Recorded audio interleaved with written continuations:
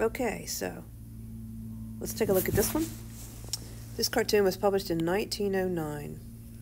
Let's see, we've got a wall here and it says the Chinese wall around the United States of America.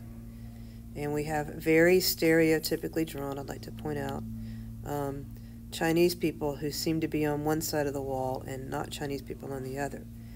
And it says, throwing down the ladder by which they rose. Now, presumably, you could climb the ladder, but no more.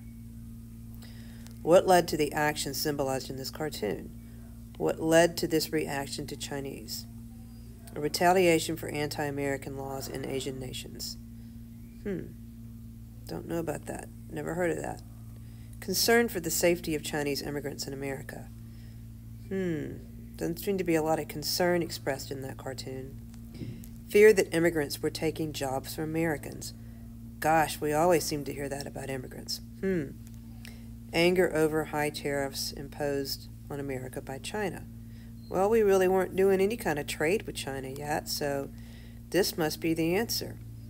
And as a side note, um, even though this is not uh, usually the case with immigrants, this is very often the fear, whether you're talking about Chinese or Irish or whichever immigration group you want to fill in in our history.